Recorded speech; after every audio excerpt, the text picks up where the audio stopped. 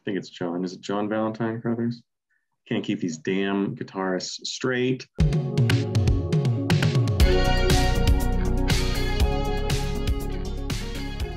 What's up, everybody? Welcome back to Tastes Like Music. Jason, Joe, and Crams are here. Siouxsie and the Banshees Week, brought to you by our patrons over on Patreon. This is a Patreon selection. We do one of those a month. We have a poll based on uh, requests from the patrons, and then they vote. And this is what we got this month. Uh, special shout out to Rich, big in our community. He is a big Siouxsie Stan, and I think he helped uh, to get him over the finish line. This one's for you, Rich. Just like majority whip in there, just getting everyone in line to vote for Siouxsie, pretty much. be honest. Which goes to show you that it is possible. If you really want to see somebody, get on the Patreon and you can make it happen. We can make your dreams come true. Uh, so check it out. Links in the description. But uh, man, going into this one, I got to say, this is one of the artists that I am the least familiar with going in. Um, if you're new to the channel, we cover a different artist every week, do a full discography. We rank their albums, give you top 10 songs. Then we have a third discussion video. And, you know, you never know what you're going to get. Some weeks we uh, cover our favorite artists, things we know and love. And sometimes we, we go in kind of blind. And that's the case for me this week. I really only knew like uh, Cities in Dust. I knew their cover of Dear Prudence, and that was about it. Going through albums of the year, I thought, oh, I'll, I'll check out some of these other records in the 80s and I, I kind of did like a quick uh, skip through of some of them and realized pretty quickly like not going to compete for my top five, so I didn't waste a lot of time on them. Uh, didn't really give them the time they deserve, so this is all mostly new for me. So, how about you guys? Any experience with them going into the week? An odd experience for me.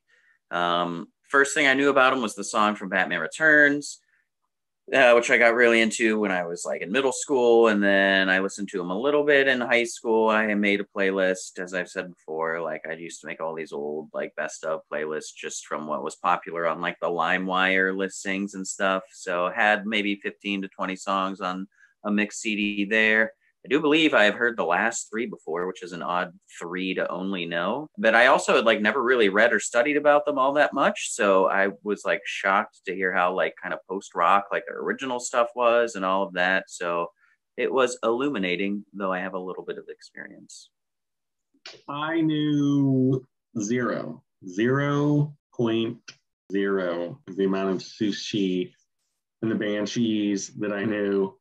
Literally nothing. I had barely heard of the name. If it wasn't for Rich, I don't even know if I, you know, would have been aware of their existence, which is odd because they have, you know, a lot of big collaborators and some famous guitarists came through their band, but nothing. It never came up once. I've never heard them even like mentioned in my readings and like songs of the year, albums of the year, like literally nothing. So I must have just sort of glazed over any time that their name came up. So this was a completely 100% new experience. Very interesting uh, week we've had here. My readings and my readings, my journals through my travels. All right, so we got 11 studio albums. Um, one is a cover record, and uh, that's about it. Pretty cut and dry, I think. So we can get into it. Who wants to kick it off?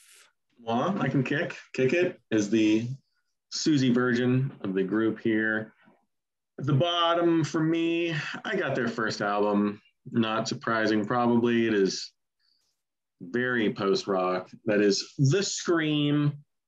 And, you know, I actually kind of like the music on this. I like some of the writing. I like the guitars. I like the drums fine. I think the drums are great, great drum sound. Steve Lillywhite co-produced.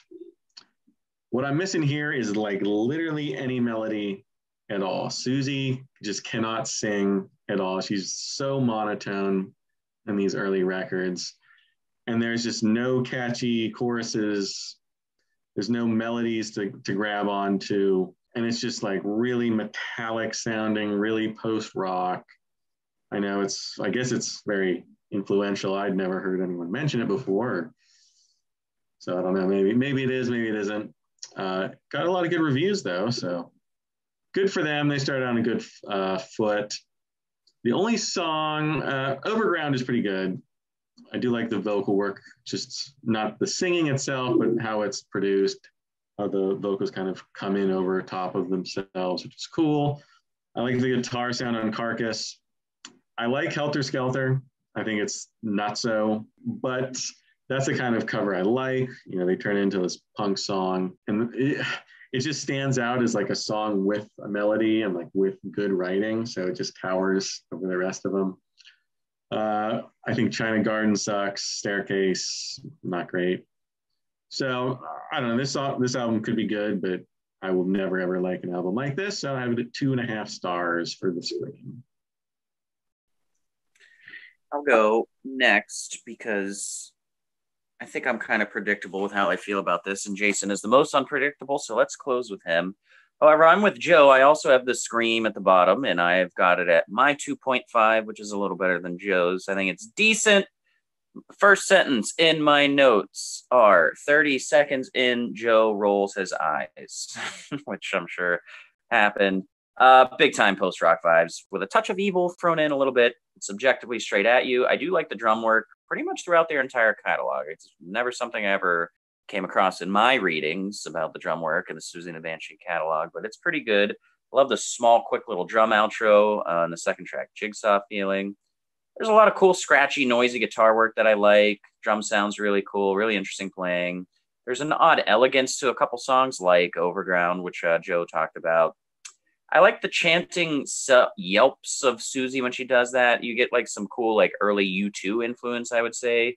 But yeah, the album definitely suffers from being monotone throughout the whole time. There's not a lot of change ups, no lack of variety. Though I think for a debut album, this is the chance to kind of get those kinks out. So it's least faultable here, but you still have to mention it. It sounds pretty good for a day debut album and for a uh, post, this kind of post rock kind of set. I don't like the Helter Skelter cover at all. It's not necessary to me whatsoever. Uh, but I'm a bigger Paul McCartney fan than both of you guys, so that makes sense. I like Mirage a lot.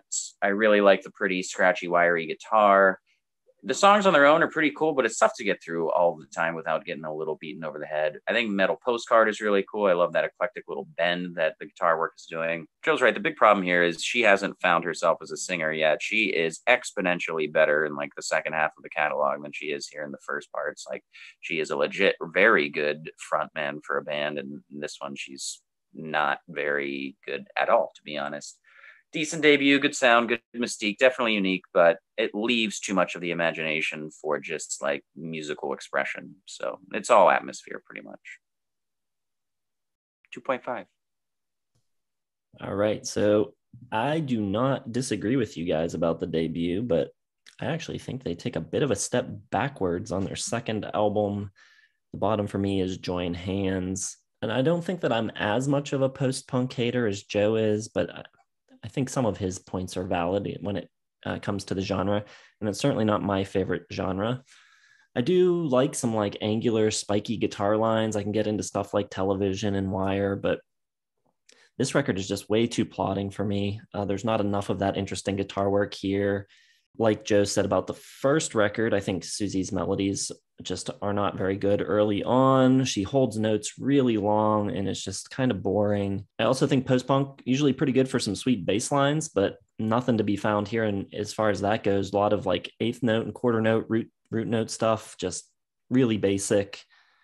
Uh, the song Playground Twist, I think it's a little bit more rhythmically interesting, probably the best song on the record artistically i think it's kind of interesting too they're using like world war one to talk about current uh, world concerns. And you know I, I i listen to a lot of slow sad music and people always say oh it's boring yawn whatever and it, it kind of drives me crazy. So i hate to use that as a like a criticism but i just think that this record is just very uninteresting. The nail in the coffin for me uh, that ensures its last place uh, is the 14 minute closer, the Lord's Prayer, which is just pretty rough.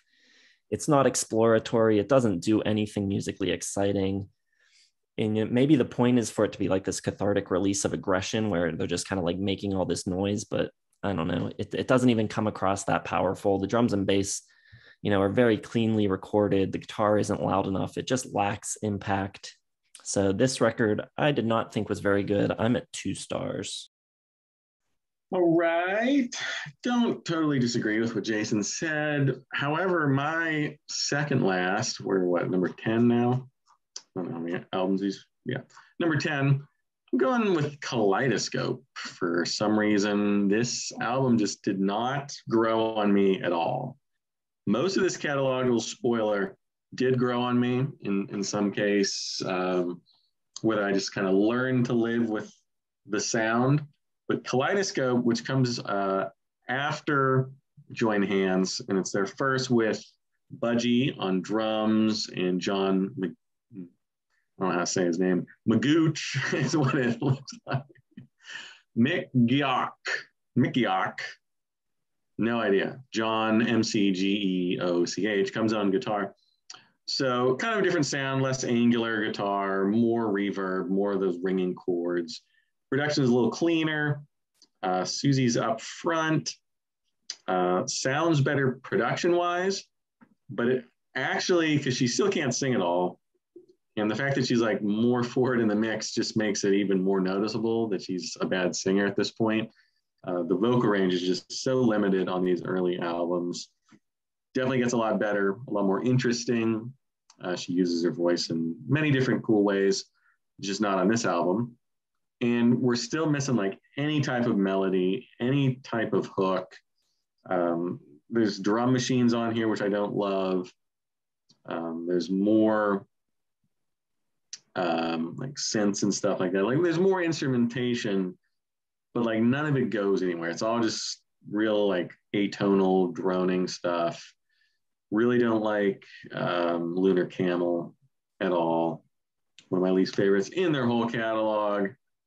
And um, I don't know, there seems to be even less energy on here. Like on Join Hands, at least there's like some punk, I feel like, like leaking into the sound, uh, some cool guitar tones. This one just doesn't have anything that I want in Siouxsie and the Banshees at all. And they would get a lot better. I think this is like one step back where they didn't quite know how to refine their sound for their new sound after they kind of left behind that real post-punk early stuff. So know, a little awkward growth period, although I know a lot of people hold this a lot higher in regard. So I don't know where it's going to fall for everyone else, but for me, Kaleidoscope just did nothing. So it is my number 10, two and a half stars.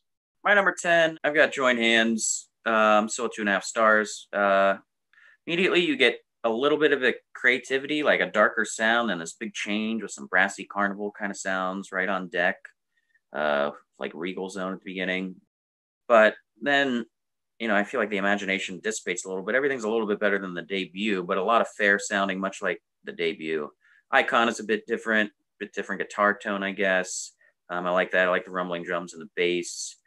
Her vocal, though, yeah, still way too samey. She's really operating in a very narrow window right here. Um, and I don't hate it, but it's just one thing all the time. So it doesn't work for an album. Haunting Goth coming in a little bit more, I'd say, here um, as you get to like Premature Burial. Uh, but the music just has to be way more descriptive. Like, there's not a lot of interesting composition work here, let's be honest. It's basically all atmosphere with lyrics just bleh, dumped right on top of it kind of like lazy storytelling, lazy playing. It needs some accent, some embellishment, you know, more amplified emotion. It needs parts that are written to help convey the lyrics and all that. It's just kind of lazily put together. Though I do like a lot of it. Uh, Mother and My Papa is flushing out a little bit of their identity, which I think is good. But pretty much you know, my complaints about most of the album start to get solved a little bit toward the album ending, but it's still not something I really want to reach back to, which is why I keep it at 2.5. It's slightly more interesting, slightly better than the debut. So 2.5 for Join Hands, number 10. All right. So my number 10, I think we're going to be working through the early stuff here for a little while longer still. I've got the Scream, the debut, I do think this record has some interesting elements, you know, starting listening chronologically. There's a few, you know, positives. I think Kenny Morris's, you know, heavy use of toms on the drums is pretty cool. There's some interesting guitar tones. The tones on this record aren't quite as flangy, and I think they're mixed a little better than they are on Join Hands. I think the record overall feels a little bit more varied. Um, Overground breaks out of their usual plotting for something that's almost approaching a ballad, which is kind of cool. Carcass has some actual force behind it, um, some forward momentum. Uh, the acoustic on Mirage, I think, is uh, like jangly almost, so you get a, a little bit of variance there. Um, you also have, you know, some different sounds coming in and coloring things. There's just more ideas overall. Still, though, all the things that you guys say about it is accurate. It's not melodic enough. It's not powerful enough. You know, I, I think it really shows how young they are, how raw they are. Not great songwriters yet. Siouxsie's still developing as a singer, very much so. It takes her a while to kind of get rolling in this catalog, but it does have a certain energy to it and a youthfulness to it. And like I said, there's more variety. So I think it's better than Join Hands. I don't think it drones on and on quite as much as that record does, but still not great. Just 2.5 stars for me still. Right. So number nine, Join Hands. So we're pretty much, if you can, yes, please join hands with me. Uh, pretty much on the same track here, at least so far. But I think this is slightly more interesting than the debut. The band really hasn't improved at all, although I think Steve McKay's guitar work, a little more interesting, a lot more variation, I think, in the tone. Uh, placebo effect has this really almost like metal guitar riff, close to something like Judas Priest, uh, which I found pretty cool. Uh, Icon again, uh, I like the guitar attack, just nonstop chord playing. Uh, the bass playing is too repetitive, boring. Siouxsie again, just monotone, doesn't really help the songs at all. So I'm pretty much just li- uh, listening for Steve McKay to do cool stuff, which he does more on this one. Uh, Poppy Day, Regal Zone, I think have really cool guitar tones. Again, Playground Twist, I think, is good. Uh, standout on the album. A little more drama in the playing and the arrangements. Again, the guitar work from McKay is the standout. And Love in a Void has a nice punk spirit. I think Siouxsie's doing a little bit more with some na-nas in the background and uh, the tempo's quicker which if you can't play and you're, you're just a, not a great band, just speed up those tempos and most people won't notice. And this album seems to do that a little bit. If you listen to it really loud, it's not bad. I didn't hate it. I didn't even hate the Lord's Prayer that much, even though it's 14 minutes of sort of insane inanity. Uh, maybe I'm mellowing out in my middle age here, but uh, I thought it was interesting. I like it better than a lot of those like weird 15, 20 minute, whatever Velvet Underground was doing with their long stuff. I can't remember what it's called, Murder Mystery. It's definitely better than stuff like that. And I don't know, it's, it's not a great album, but I didn't find myself hating it as much as I expected. So three stars, but a low three stars. It's like a six, six out of 10 would you say it didn't make you want to kill yourself? It didn't make me want to kill myself. No, not even maybe for like a second. Then got it. Cool. Okay, good. Yeah, we all have the same bottom three, just in slightly different orders. I've got number nine with Kaleidoscope 2.5. Much more well rounded, a little bit, not much more, bit more well rounded, mainstream professional kind of sound less of a live feel, I'd say, a little more studio awareness. You get some of that more daunting, ominous feeling throughout. So, you know, kind of that identity sprinkling through just a little bit more as time goes on chronologically, but still not nearly as tuneful as I want, not nearly as emotional as I want. The singing's not nearly as good as I want. Do like the additions of a little bit of synth, a little bit of dance beats. There's like a gritty underground devilishness full of like ritual feeling. That's cool. However, right now in the catalog, they aren't nearly as good as I imagined, but also more influential than I was aware. So I'll give them that. Red Light is pretty cool. Most of the songs, like the first two albums, are just kind of flat. Melodies stay the same, beats stay the same, just simple backing track, not much else for four minutes. Lay down these cryptic, ritual esque kind of vocals. Skin's cool, cool drums. A little bit better than the one before, which is a little bit better than the one before yeah, there we go. 2.5, number nine, Kaleidoscope. All right. That is also my number nine, Kaleidoscope. Morris and McKay depart. You get Budgie and John McGeoch, I think. I don't know exactly. I found a, a, uh, documentary about him on YouTube, and that's how they said it in that. So that's what I'm going with it. And I think instantly you can tell, even though the record isn't like dramatically better than the first two, I think it's pretty obvious that they are more skilled and more nuanced uh, musicians than the uh, the previous guys in the band. Uh, I think you know they keep kind of the same feel, but just a little more uh, interesting. The drums still busy doing a lot of like tom stuff, uh, but a little more rhythmically complex from Budgie, who I think is a really good drummer, and even he gets better as things go along. They just have, you know, better dynamics, better touch on their respective instruments. I think Siouxsie on this record takes on a bit more responsibility. She's playing some guitar and synth on this record, some melodica. I think her melodies are starting to get a little more interesting on this record, a little less drony, but still not great. You know, I, I think they're still not fully formed. They're still a young band and it's a new lineup. So it's not quite gelling fully yet uh, but you know, like I said, a clear improvement.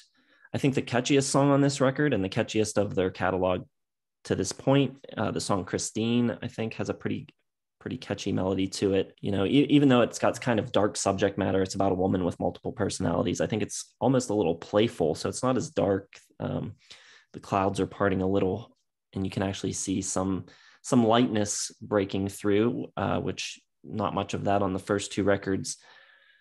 I think uh, Red Light is a cool new approach for them to kind of experiment with. With uh, they got the program beat and this big fat like Moog sounding synth bass, which is cool. Paradise Place has a cool groove, and you know the type of baseline that I'm looking for in some like good post punk. Still very little, if anything, here that really excited me, but I think this is the beginning of seeing some potential in them, in them at least.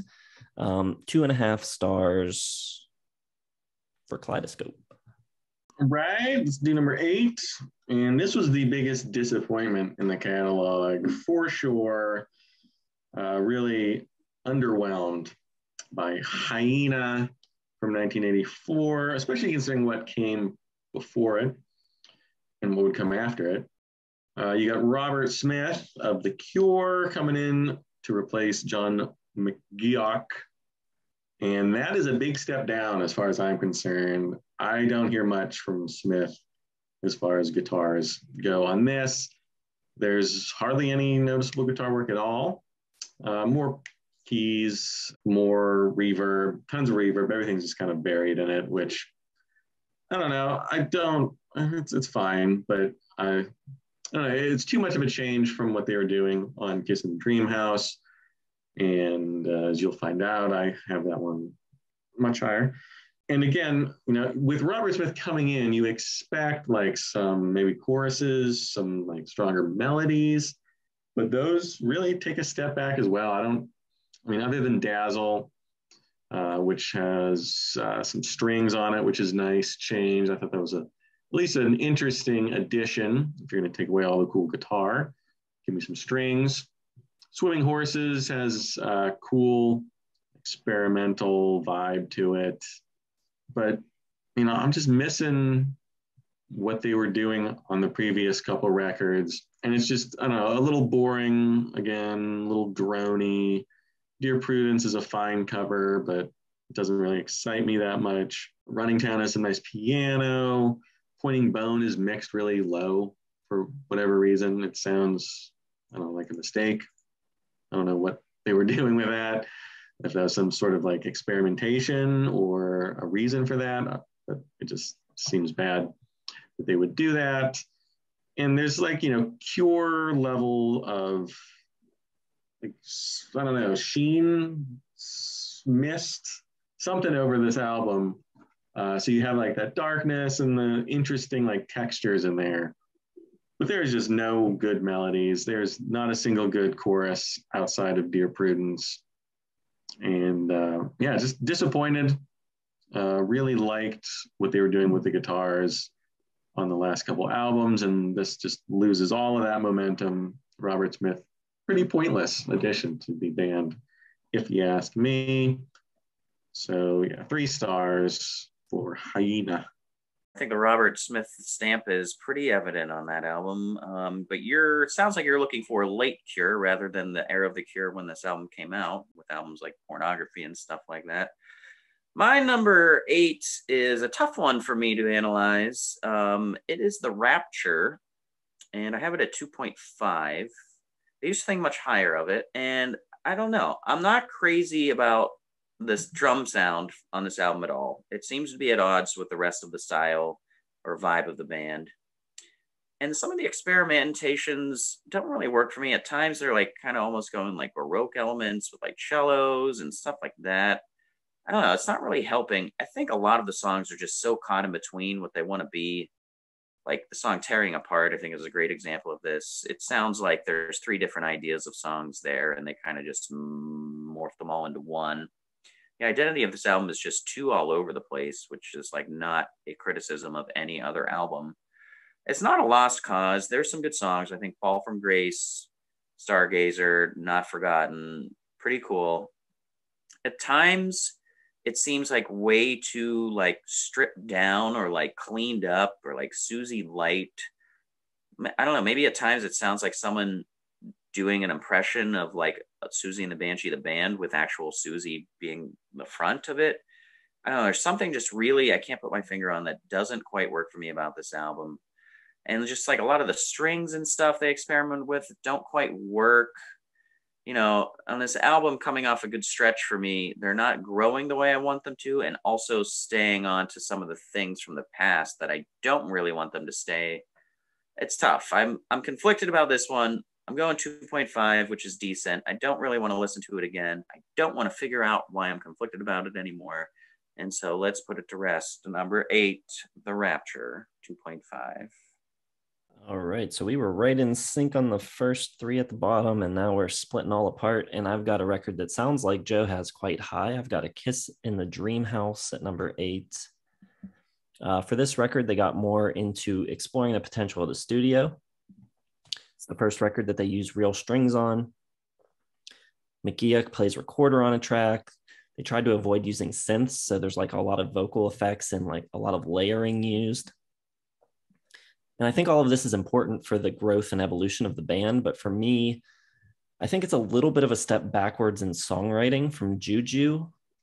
I definitely think there's a lot of cool and interesting sounding tracks here, but as far as like songs and melodies go, it never reaches the heights of like a Spellbound or In the Light. I also don't think it ever really finds its sound. I think Juju is like really united by all of this really cool, unique guitar work. And because they're experimenting so much on this record, like all the songs feel like kind of different. They all kind of have their own unique identity.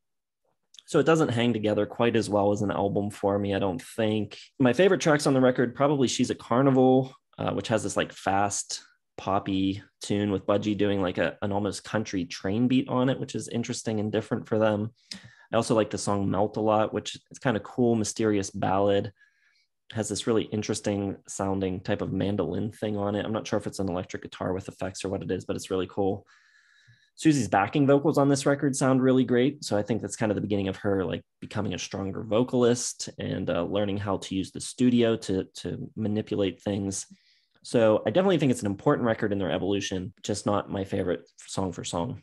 So three stars for Kiss in the Dream House. All right, going on to number seven. And I have the obligatory cover album, Through the Looking Glass. What? I mean, is that weird? It's probably where cover albums go, kind of right in the middle. Uh, and I think this is a pretty good cover album. I absolutely love their cover of the Sparks tune. This town isn't big enough for both of us. It, I love it, but it also kind of makes me wonder, like, if Siouxsie could do that with her vocals, why wasn't she doing stuff like that before? Like I heard this song and I'm, I did not realize it was a cover album at first, and I was like, finally, they they did it. They found their sound. That's this is it. And then I realized it was a cover album. I'm like, God damn it, that's a Sparks song. Um, but she nails it. The band nails it. There's a huge diversity of tracks. I don't think I've seen a cover album with like a bigger spread You have a song like This Town is Big Enough for Both of Us. And then you have This Wheel's on Fire from Dylan and Danko. And then the next song is Strange Fruit, uh, the Billie uh, Holiday classic. Uh, there's an Iggy Pop, a John Cale. So this is just like all over the place with interesting picks. Some of them work, some of them don't. Passengers, I like a lot, I like the horns. And I think their updating of Strange Fruit is really beautiful and powerful. Uh, this Wheels on Fire is cool. It just can't, you know, can't hold a candle to either the Gene Clark or the band's version, but I think they, they do it pretty interestingly enough for their style. I think it works. Uh, so I'm up to 3.5 for this. I think it's pretty solid, maybe four stars if, you know, but it's, it's a cover album. So I have to take off a, a half a star for that, but not, not bad. Not bad. Good performances. Uh, my number seven is Juju, and I'm skipping three. I'm going all the way to three five. I think this is a really good album. Uh, Spellbound, probably my favorite song to date in the chronology. Into the Light, super awesome. Has a really cool like digital new wave kind of flair. So they're bringing in a little bit more influence and stuff, other than just like that drony cryptic kind of thing going on. The lead and the hook in that song is sensational. You're getting a lot more melody, a lot more tunefulness. Halloween is really cool and is a bit more rocking and downhill than usual. They're just like putting more influences on the playing. They're doing like everything that I was complaining about in the first few albums, where it's like you need to find a way to express your message and your emotion and your style, not just through the sound and the atmosphere, but through your composition of the songwriting. And they're starting to do that, and it works. The guitar work uh, is really cool.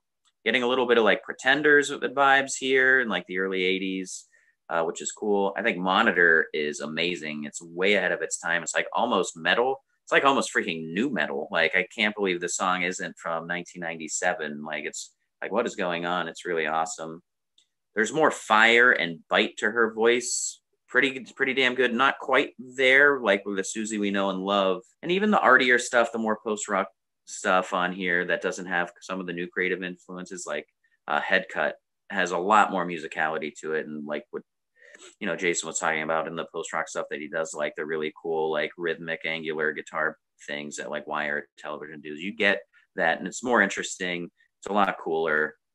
I love the closer Voodoo Dolly. Um, you know, kind of scary, maybe their biggest haunted tale anthem, so eerie with like those descending guitars and mood falling apart. So I think all the songs are really interesting. You know, they're not doing their poppier kind of stuff yet, but the for the art house vibe that they're still holding on to, they're doing it really well and a lot more memorable. So I really dig it. All right, my number seven is Through the Looking Glass, uh, same as Joe. Uh, it's the second and final album with John Valentine Carruthers on guitar. It's a covers album, like he said, and it's got a bunch of cool uh, song selections on it. I think more often than not, the covers work really well on this record. I think they find a good balance of kind of like respecting the originals and adding their own spin on the tunes. The one that doesn't work for me too well is This Wheel's on Fire. And I don't know. I don't I don't think their version of it's very good and it's kind of weird to me that it was the lead single for the record as well. Strange Fruit, a really bold choice. I think they get away with it by having an amazing arrangement, the sweeping strings and the mournful kind of like funeral dirge jazz band that comes in in the solo section of the song I think is really cool. Yeah, the Sparks cover is really awesome. I think their version of The Passenger by Iggy is is really cool too. They add the horns to it which just makes I don't know, makes it really interesting. They don't change the song itself very much, but they just add those horns and it just brings a, another dimension to it. I think this record is less moody and atmospheric than the previous record, uh, Tinderbox. There's more emphasis on the songs here than there is on the sound. And Siouxsie comes to the forefront more than ever before, I think, on this record, almost to the point where it starts to feel like a solo project a little bit. Um, she's really upfront. And I don't know, the, the maybe the cleanness of the production on this a little bit um, makes the band feel a little neutered or something. I'm not sure, but um, for a covers record, I think it's it's pretty uh, good. I like it. Three stars, or sorry, three and a half stars for Through the Looking Glass. Well, we are hitting some high scores already for these. We're only halfway through. Surprising, Jason's all the way up 3.5. Although knowing him, that'll be the top. He just seven albums of 3.5. Uh, my number six is a 3.5.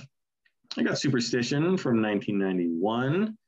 And this album sounds a lot like a Prince album. Uh, Stephen Hague comes in. He was a producer, did stuff with Pet Shop Boys, New Order, Erasure, um, a lot of famous albums, actually. Very good list. He did um, The Innocents from Erasure.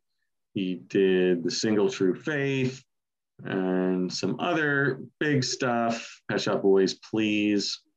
So he's a pretty experienced producer. And he takes the band right back into the 80s because this just has such an 80s production to it. Like 80s synth. And then there's a whole lot of whammy bar heroics for whatever reason, like a lot of like screaming guitars, which I found to be at odds with like what their sound should be. Uh, so this album kind of like I feel like I should love it because it is like really into it's like 1987 came alive into my ears, but it, I, I just don't know if it works for a Siouxsie and the Banshees album completely. I think they get away with it. Uh, the band itself, mean, Budgie's such a good drummer. They bring in uh, Jon Klein on guitars, and Steven Severin, I think, has gotten a lot better at bass by this point. Uh, Kiss Them For Me sounds a lot like Alphabet Street from Prince. Uh, Fear the Unknown has some cool screaming guitar parts.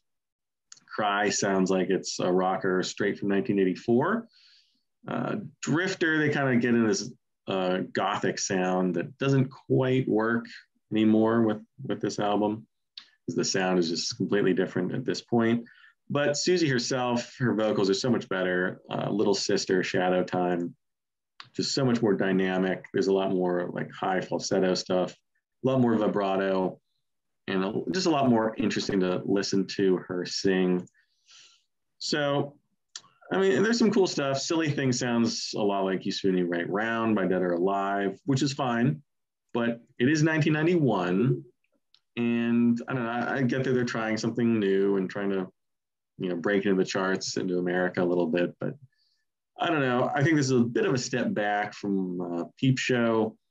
And uh, so it's fine uh, three and a half stars. But I don't know, there's just something odd about the sound from a band like Siouxsie and the Banshees that we started on this post punk stuff, and now we're in this like screaming guitar solos and synth pop. So I mean, it's cool and reinvention, but not totally successful. My number six is a kiss in the dream house.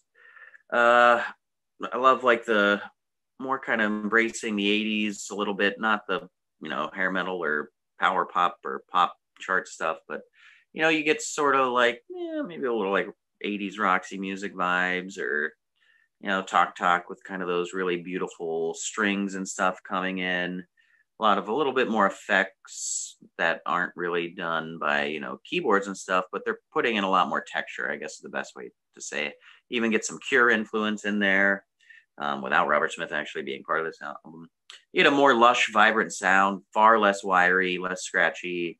Um, it's way more illuminated. It's prettier, just simply.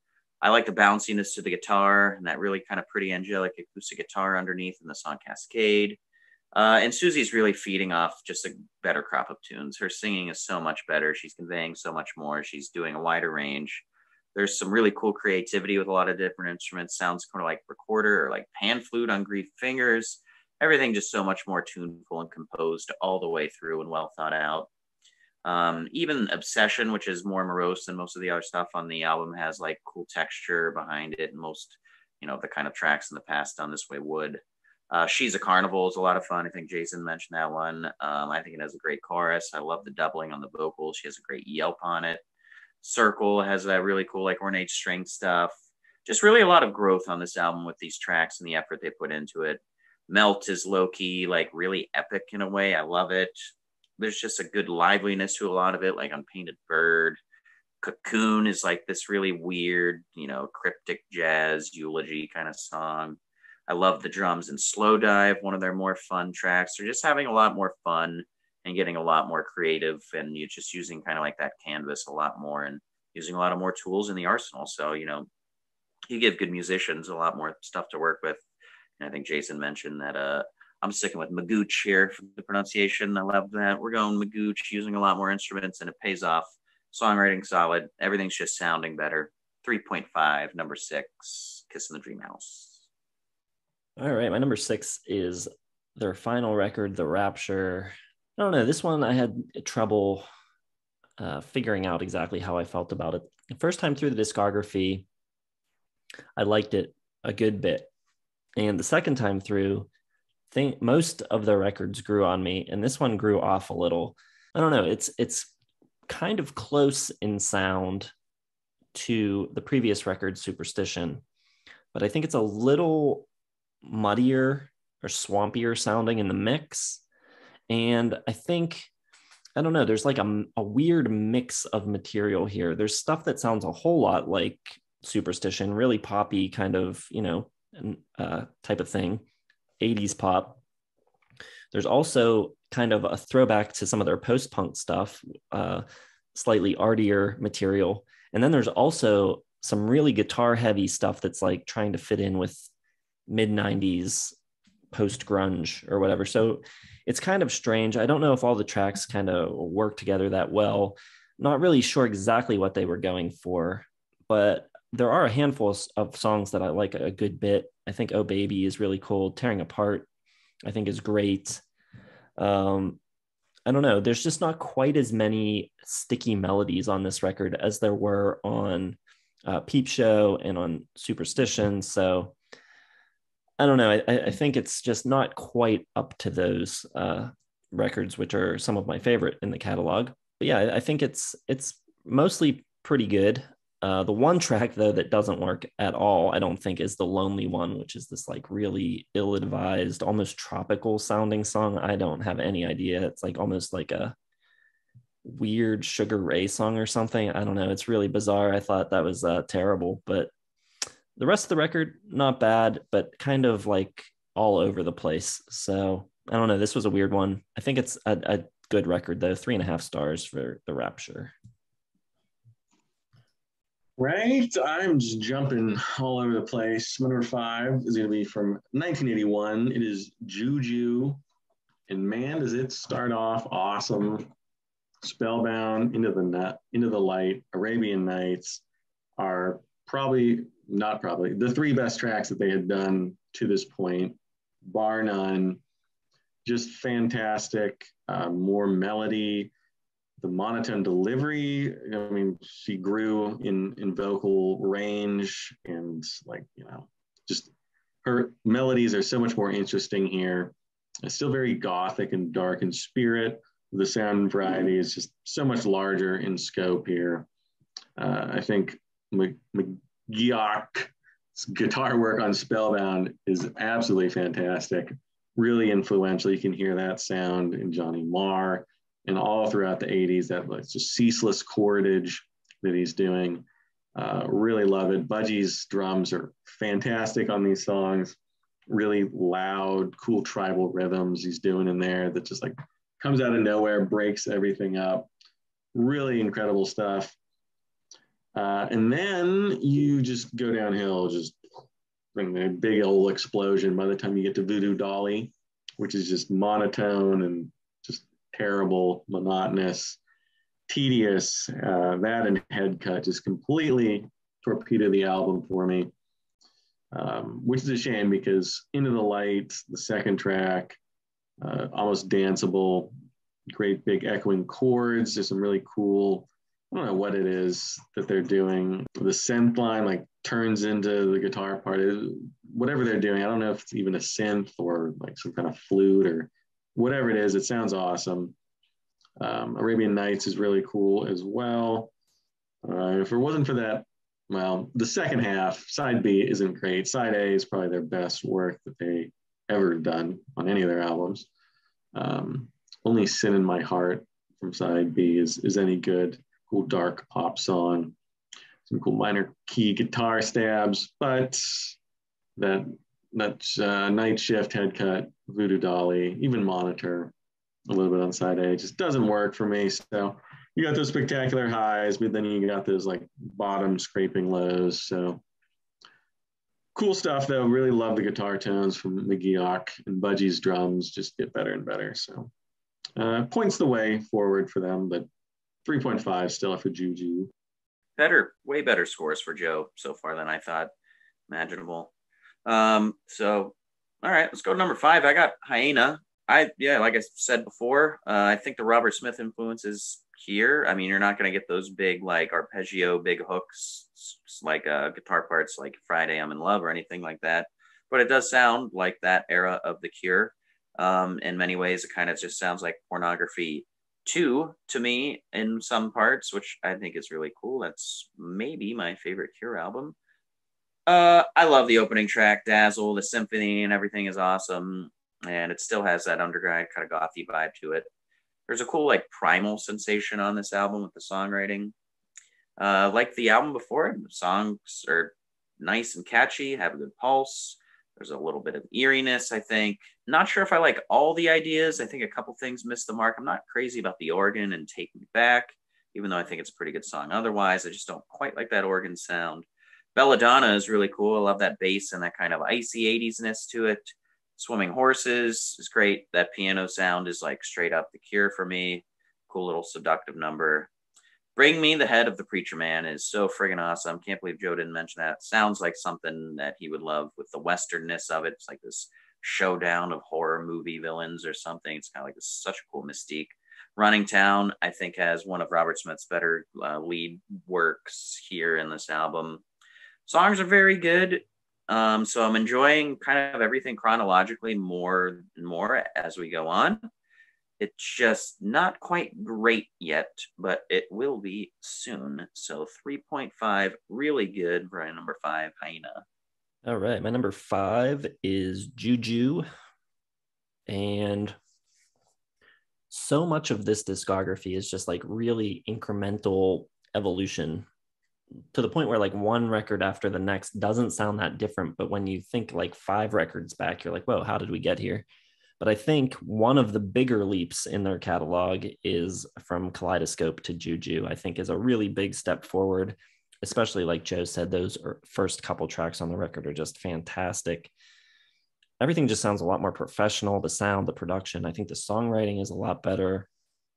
So I don't know. I think Siouxsie's uh, vocals are getting a lot more confident too, more forceful, a little more guttural, able to belt a little bit more. I think the addition of Budgie on the previous record just really paying off, making a huge difference in this era of the band. Just, I think he's getting more comfortable now within the band on this record and just really uh, flexing a bit, doing some really great work on this record. Uh, Spellbound, the opening track, super cool, really interesting guitar parts. Um, they go from like picking single note things to like these fast strumming, almost like Johnny Marr esque type of things really really cool. And in fact this is a few years away from the smiths so this predates johnny marr. Uh, into the light is awesome. That riff is so cool and how it works against the drum beat just super cool. And then how it flips into the chorus and does that like descending line just really awesome. I loved it. Uh, really sweet melody on that one too from Siouxsie. I like the kind of dancey disco beat on Monitor, more cool guitar stuff on that track. I think the record previous this kaleidoscope they were flirting a lot more with electronics getting into kind of like some synths and program beats and stuff. And i think on this record they really kind of like recommit to the guitar. And i think that pays off and i think that was a good move because uh, the guitar work on this is really awesome. Joe is correct though that it's front loaded the first several tracks are the best. And i don't think that the side b necessarily torpedoes the record for me but i definitely feel like the tracks on the back half just kind of feel like lesser versions of the songs on the first half. Not none of those stand out quite as much, but I, I don't think they're terrible or anything. Um, and like I said, just a huge improvement over the first three Siouxsie records. So uh, a good record with some great songs. Three and a half stars for Juju. Okay, dokie. Uh, we're gonna jump around again from 81 to 88 Peep Show. Uh, and we got a revolving door here of guitarists. This is the first one with Jon Klein, who comes in for John Valentine Carruthers. I think it's John. Is it John Valentine Carruthers? Can't keep these damn guitarists straight. Um, but they're all excellent guitarists. The band has a penchant for picking good ones. Jon Klein comes in, um, maybe a little less melodic and catchy, but does have an interesting, more diverse sound. Uh, can absolutely rip it up like he shows on Burn Up on this, which is a cool like cowpunk vibe. And this one, this album is definitely all over the place, which is cool. They're really showing off their diversity. Uh, Peep Show sounds like nothing else in their catalog before or after. Uh, it's a little discombobulating, but in a really cool way. And it really reminded me of the St. Vincent self titled album. Like she kind of just ripped that off completely. So it's always interesting to hear like where ideas come from. And clearly, uh, Peep Show was an inspiration for her. You also have some Kate Bush influence on here, I think. Uh, Killing Jar, good, powerful groove here. Uh, her vocals, I think, take another step forward. Her high notes are much stronger, and she's just doing a lot with her voice, kind of swooping, a little more fantastical, a little, you know, reminds me of Kate Bush, which is cool. Scarecrow, Carousel, both these songs have that, you know, maybe Hounds of Love feel to them, uh, supernatural, fantastical, but you know, pretty and mystical as well. Not quite as dark as their gothic stuff. Ornaments of Gold has a cool 80s uh, sound to it. We got some stabbing synths, nice drumming from Budgie, who really came to appreciate him a lot uh, throughout this catalog. Just interesting drum parts on pretty much every album, really consistent as well. And um, you know, this is just a good, good solid album. The Last Beat of My Heart has a cool, fast, waltzy feel, some accordion in there, tons of emotion. And uh, you know, it's not as dark as Juju or Tinderbox, but it's, it's got this cool supernatural charm, a witchy gothic spirit that's mysterious and vibrant instead of flat and black, is what I wrote. Uh, so I'm up to four stars for Peep Show. I think it's pretty good. Um, the melodies are there. It kept me hanging on throughout the album. So yeah, enjoy this one. Four stars. Nice. Some good points there. Uh, Jason also made a good point about Juju being the biggest leap in their catalog and everything else kind of just nudging along. And that's how I feel. Uh, but I'm going with Superstition as my number four. Very close to four stars, but I just got it at 3.5. It's very good. Goth really fading out here by this time and becoming more kind of this beauty romance shoegaze pop kind of dance pop dream pop pop pop pop kind of thing. I don't know. Um, I'm not sure exactly which Prince album Joe's talking about, but he might be right. Uh, pop in general, really. Songs are kind of radio friendly more than anything else they've ever done, full of hooks, while kind of holding on to a little bit more of their rock vibes. Early 90s dream pop for sure, but it's not all brightness and rainbows. Drifter is very gloomy for sure. Her voice is like an angel on this album, though. She is just doing everything she can to uh, carry the band um, from a little bit of a step back from the stretch they were on.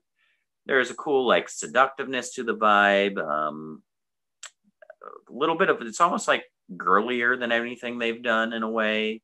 A little pristine, very heavenly and vivid. A little synth heavy at times. Little Sister is a really cool song. And at the same time, everything's like a little bit more laid back, a little bit roaming, a little bit more spacious, a little bit more freeing, soaring lines and stuff. You know, it doesn't have that wiriness. Uh, obviously, Shadow Time, I think, is a really cool song. Has a cool kind of curish lead to it. Silly Thing um, has these really cool like guitar swells and whammy bar action that Joe was talking about, which I think really adds to it. And you know, it kind of plays to that early 90s vibe a lot and just kind of letting the guitars be like the, the, vibrating sensations going on. Good bass work on this album. Song that really doesn't do it for me though is Gotta Get Up. Seems like it's caught between a bunch of things, maybe signaling the problems that I have with Rapture. Uh, Silver Waterfalls has some really cool guitar work on it. So yeah, I kind of see it as like this like beautiful flowery kind of you know rock album um, I like the slow, somber touch of Softly a lot. Just doing that really cool, whispery, delicate, delicate, whispery vocals, and the strings mixed with that deep synth, really nice. Uh, I think there's a lot of music that I like maybe 10, 15 years after this that you can kind of point to this era or this album Um, you know, something like uh, Blonde Redhead doing a little bit of kind of this sound a little bit. I like them a lot. The Ghost in You, I think, is really great, catchy closer. Um, I think this album is lacking a little bit of emotion, relies a little bit too much of aesthetic, but you get it a lot toward the end with Softly and then with Ghost of You brings kind of that emotional touch, you know, toward the end. Lyrically, I think there's um, some good emotion throughout the album, but um, this one really brings a good punch to it at the end. So pretty close to four, maybe eventually, um, but 3.5, probably not eventually because I've heard this album a good bit. So Superstition number four, 3.5, very good. All right, my number four is Hyena. It opens with the Chandos Players, which is a 27 piece uh, orchestra, members of the London Symphony Orchestra, which is a pretty uh, big and epic way to start your record. Uh, goes into the track Dazzle, which I think is a great tune, really good melody on that. Not crazy about the mix on this entire record, though. It sounds really cluttered. Um, there's a lot of reverb on stuff. And I don't know, it doesn't work too well. I think this is the first record of, of theirs that doesn't sound like a post punk record, really. Um, they're kind of getting more into pop and uh, new wave and that type of influence. Um, and it does have that kind of like Cure sheen to it. And it could have been great, I think, because I think some of the songwriting is really good here. It's really just the mix holding it back for me. I think Smith uh, coming in is interesting. He seems to bring a real focus on the songs. This is the same year that The Top came out by The Cure. So I think there's some similarity there between The Top and this. It's kind of like the top, sort of like a uh, a bridge transitional record, kind of caught between earlier, more experimental post punk, whatever you want to call it, type of stuff, and more straight ahead uh, songwriting with pop poppier production. I can't imagine like a track like Swimming Horses on a previous Siouxsie record. Such a cool piano part, really different. So they're they're branching out a lot.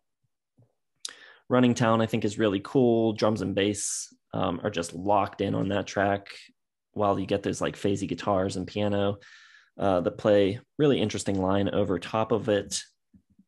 Um, so yeah, like I said, it's kind of an in-between record. Really cool songs. I disagree with Joe. I think the melodies on this record are pretty strong throughout.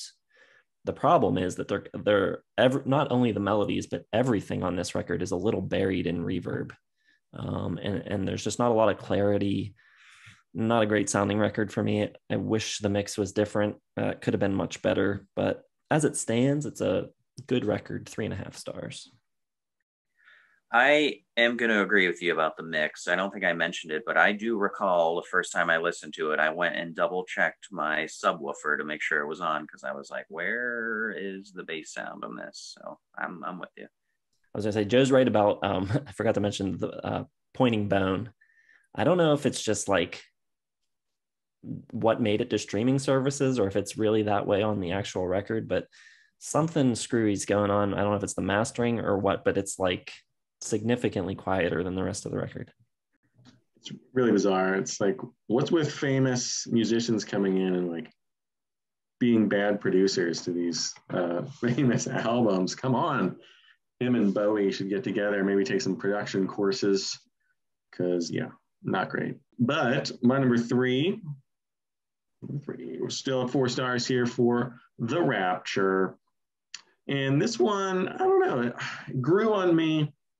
This one has a definite attempt at a mid 90s sound. I get some pretenders and stuff in there as well. Some louder guitars, a little less of that 80s, a little less of the princiness they were going for in Superstition. And it only starts out kind of okay. So it sort of lulls you into a false sense of, okay, so this is a record that didn't need to be made. This is well after their peak. Um, oh Baby and Tearing Apart, just not not crazy about the way it starts, but then it starts getting good. Uh, I think Stargazer is pretty great. I think Fall from Grace is just super pretty alternative rock. There's some upbeat hand claps. Siouxsie's kind of channeling Chrissie Hynde a little bit. Uh, there's a cello I think sounds like a violin, but there's no violin credited on the album. So I think it's just a cello played up really high, um, which gives us this cool, unique timbre to it. And just a really great melody, really strong pop song. Uh, Not Forgotten has a badass guitar part.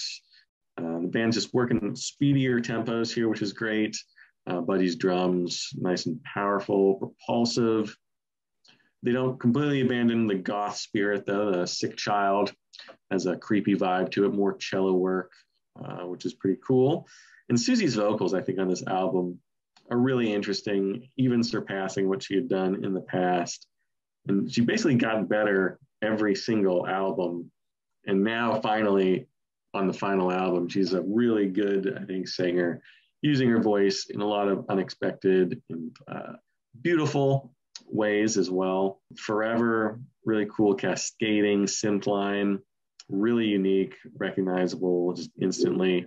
I don't love the 11 minute plus the rapture, but uh, there's some interesting parts to it. It's certainly better than um, whenever the Lord's Prayer from Join Hands. So not not terrible. I wish it was the closer though. It's odd that there's a couple tracks after it, but I think they're pretty good. Love Out Me, uh, a good ender, powerful alt rocker, loud and aggressive, and uh, you know I think I think the guitar sound works better on this. They don't sound so 80s. They don't sound too out of place. I think it sounds pretty good for mid 90s. Surprisingly uh, good for the mid 90s for a band that started in the 70s. So I think they work their way into the 90s pretty well here. And uh, I dig it. Uh, four stars. And uh, definitely, I don't know, much better than a final album in the mid 90s than you'd expect for a band like this. I was impressed with The Rapture. All right. My number three um, is going to be Through the Looking Glass. And I've got it at four stars. My first great album. I think it's one of the better cover albums I've ever heard, to be honest. Um, and it does everything you kind of want from a covers album. They kind of make everything their own.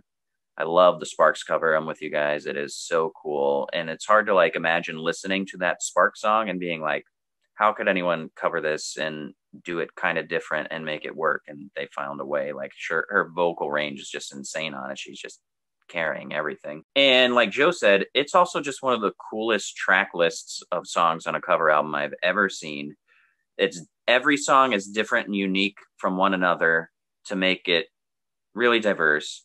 There's some songs that are kind of like bands that are kind of obvious opportunities for them to cover, and then some stuff like Billie Holiday or Wheels on Fire, which you wouldn't see coming. I think that the band is really good on this. Siouxsie, I think, though, is doing most of the heavy lifting. I knew the original of everything but the song Trust in Me, uh, which I think has this cool kind of Nick Cave kind of delivery. Hall of Mirrors is really well done. The bass on it is great.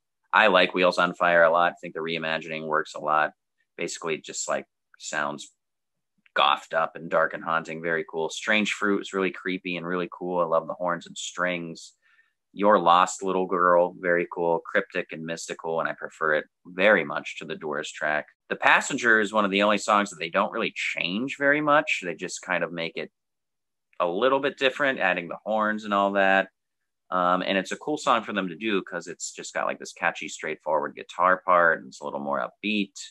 Sea Breezes, super cool really more like casual and wavy and you can kind of see some of these songs influence the kind of material that they would want to do after this. So yeah i think it's a really impressive covers record. I would very much love to go back to it. I think it's a great album. Um, so my number three four stars through the looking glass all right my number three is tinderbox which uh, is a really cool record uh, 1986 they got uh, john valentine carruthers coming in the fourth guitarist to come through the band and if I was pressed, I'd probably say he was my favorite of all their guitar players.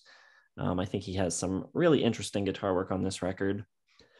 This record, I think, retains some of the pop hooks of Hyena while at the same time being darker, more mysterious, and kind of reverting back to their earlier work, at least in terms of the mood of the record.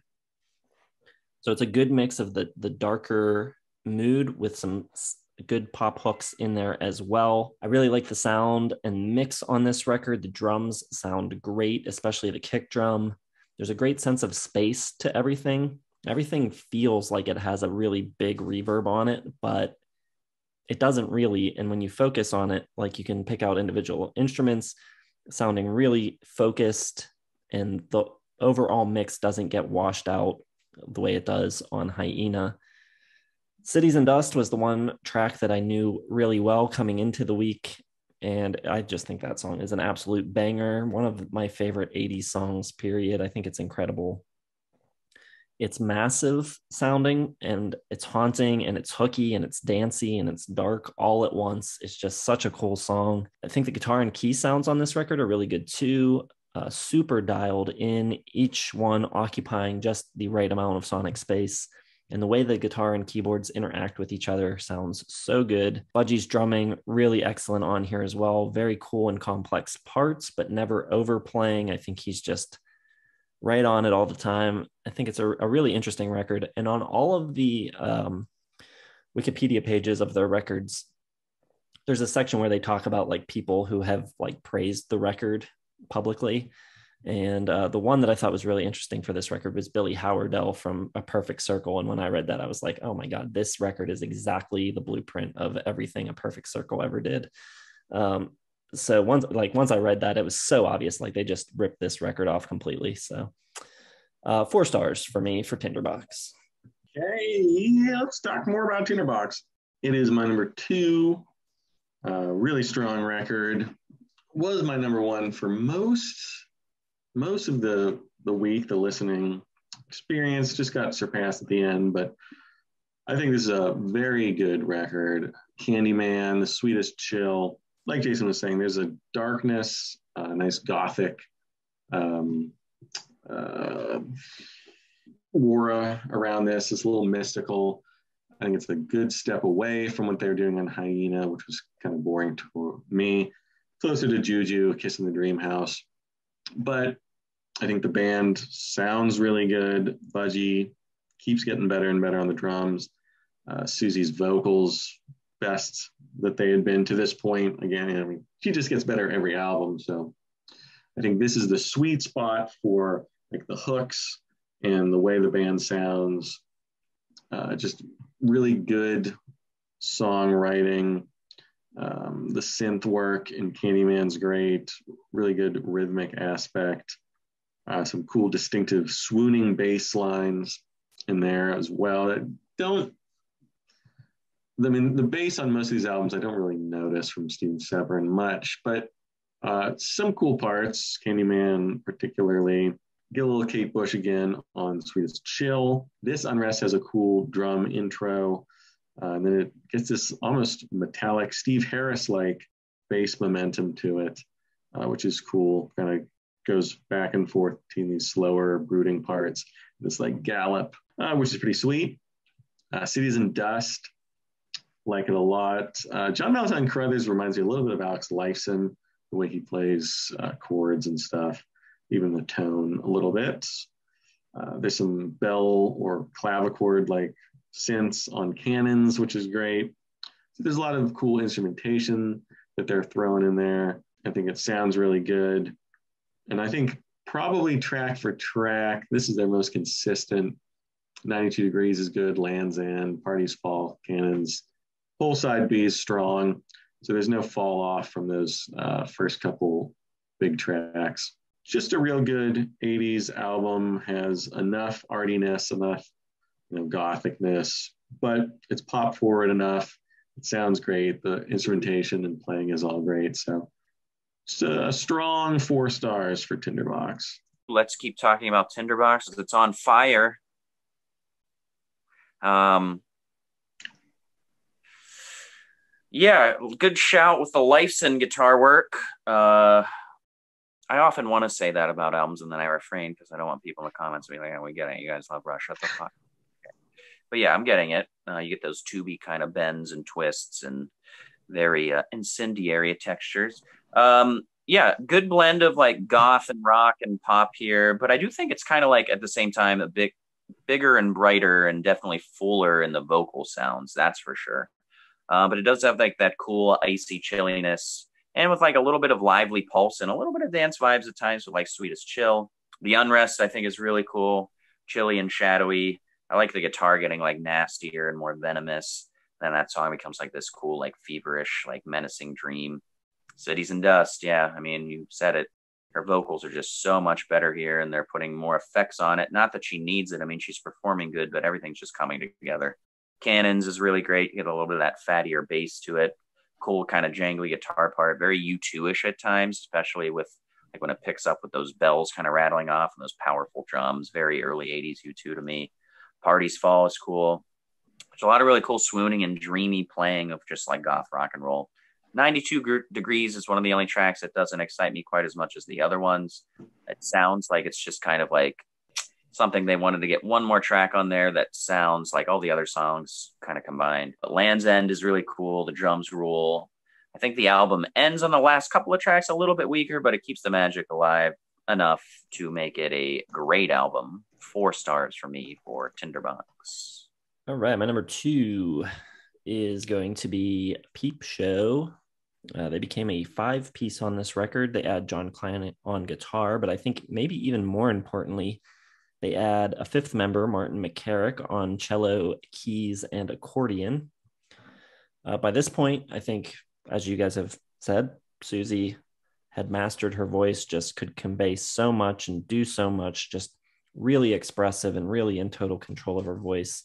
And it's hard to believe that, you know, f- from where she started, that she got to this is just really cool. I think the arrangements on this record are really cool and more unpredictable than they had been on previous records. And I mean, that could be the flexibility of having a fifth member that can do like more auxiliary type of stuff. It's also maybe some lessons learned from doing a covers record right before it. But on this record, rather than like one established mood, each track is given sort of an individual treatment. And I think the songs still work together well, but you get these unexpected twists and turns. Um, you've got that really cool, like reverse drum effect on Peekaboo. That song also has a really cool accordion break on it, which is pretty interesting. I like a lot of the accordion work that comes in on these uh, last couple of records. Lots of auxiliary percussion on the Killing Jar, which I think is an incredible tune. Siouxsie on that track just seems to be in full control, just commanding the band. She's almost like a conductor, it seems like on that track. They're just like watching her and following her lead and just like really locked in with her vocals more than anything. She's able to go from something like really forceful on that track to something like uh, Carousel, which is far more reserved, more um, laid back, I guess. Um, she's also found a much more pointed and nasally tonality I think, which really became apparent on this record. But it just gives her like this other variation or other voice to go to, which is really cool. Throughout basically the rest of the catalog up to this point, she's just like doing a lot of this like guttural singing from her diaphragm really deep. She starts singing up from her head a little more on these records, and uh, she can kind of go back and forth, uh, which is great. Uh, you can hear that a lot on the track Burn Up, which is really cool. Seems to be inspired by the alt country and cowpunk of the mid to late 80s. The guitar on this record, I don't think is as prominent as it usually is on uh, Siouxsie and the Banshee records. Uh, but Jon Klein, I think, does a good job of filling just like a, a specific role. Um, he kind of settles into the mix a little more than their previous guitarists, but still finds ways to keep things interesting. He does like this almost flamenco inspired stuff on Turn to Stone. His parts on the Killing Jar are perfect, just these like repeating arpeggios that he's playing. Uh, the Last Beat of My Heart, I think, is another great tune, really big, epic. It's got these rolling uh, tom parts that just go through the whole song and just kind of the song kind of swells around the drums, which is really cool. Um, I think the accordion is used to great effect on that track. Uh, really cool song. I like this record a lot. Four stars for Peep Show. All right, let's get to the winner. If you've been keeping score at home, or even if you're by yourself, it's a Keith Olbermann line. Uh, the winner for me, A Kiss in the Dream House. This one just flew up at the last minute, surpassed Tinderbox. And I don't, I mean, I don't know why. It's back in 1982. So it's after Juju, which I thought they took a huge step forward in. Um, and I think on this one, they just take all of the stuff that they had done really well and just make it a little bit better. I think the hooks, the songwriting is great. You have production, I think, puts Siouxsie even more prominent in the mix. Uh, so it's a little more poppy sounding than Juju there's just a lot of variety in the sound. Uh, you get that like sexy uh, melt with the lounge jazz of Cocoon. Uh, you got some driving alt rockers uh, like Painted Bird, and you have like one of those dance forced dance numbers, uh, Slow Dive, which I don't love, but I, I, don't mind the you know the dancey, you know, do this, but blah blah blah direction of Slow Dive on this. And I think it starts out. Uh, there's a, a, great dark mood to Cascade. the arrangement of all the instruments is great. I like the fact that they brought on um, some cello players for this, a violin. Uh, so there's some nice strings on here.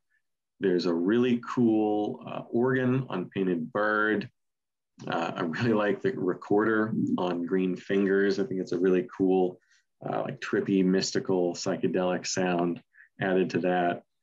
Uh, good bass playing on there, and some really great chord work from McGeoch, who I think maybe not quite as good uh, as Spellbound or Into the Light, but I think as a whole, really good guitar work all over this album. Obsession, uh, cool lyrics, reminds me a lot of um, like Intruder and uh, the stuff that Peter Gabriel and, and Phil Collins were doing. Uh, it's got like that heavy breathing and just really, um, you know, you got those obsessive lyrics that uh, paint the narrator in this dark light, which is cool. I like when they do that. Uh, she's a carnival, love, uh, just a ton of energy, really great drums, some pummeling bass. A circle, not my favorite. I really like the riff that they have on it, but it just like this the, the song title says it's a circle. It just keeps going around and around and around the same thing over and over. Uh, so mm, cool two minute song that's stretched uh, a little bit too far, five minutes for me. Uh, but that doesn't totally kill the album. Melt brings it back. Uh, some really cool, I don't know if it's a mandolin just played like legato really quickly, uh, but it has like that classical Italian, you know, mafioso kind of sound, which is cool. Lyrically, uh, interesting, dealing simultaneously with sex and death uh, in an interesting and macabre way. And uh, Painted Bird, another good one. Cocoons, Lounge Jazz is a cool change up. And even Slow Dive, the dance song, not bad. Yeah, I just really like the direction they go with all this. I think it sounds great. I think all the instruments are great. Uh, the playing from Budgie, fantastic. McGeoch, great guitar work. Even the bass, I think, stands out on this more than any other album. And the vocals, not quite as good as you get, but I think they are more than adequate here. So yeah, high four stars for Kiss in the Dream House. Very nice. I'm about to do my number one. I'm going 4.5 and almost five for Peep Show, my number one. I loved it. Uh, new sound with a lot more kind of synthetic touch throughout.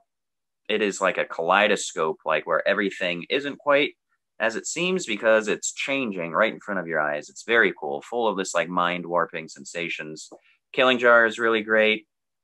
I, I like Joe's uh, Kate Bush analogy, although I don't think it really sounds like Kate Bush. I kind of think it has some of the same techniques and sensations where it's like surprisingly ornate and fierce and elegant at the same time. Um, very cool. It's just a big tapestry of like nervousness and beauty and haunting elements. Uh, Scarecrow rules, really dark and alluring. Then it gets like this march and punch to it. It's really cool. It gets great intensity at the end. Carousel, I really like. The album's just got like this gothic, ornate, sidewinding kind of poetry to it that's really cool. Burn Up is like a really unique song for it that doesn't fit into the mold of everything else, but has like those big, awesome, like country shots of guitar and runaway train blues kind of feel. That's totally, it's the most surprising song in their entire catalog to me, but I think it's awesome. Turn to Stone is great.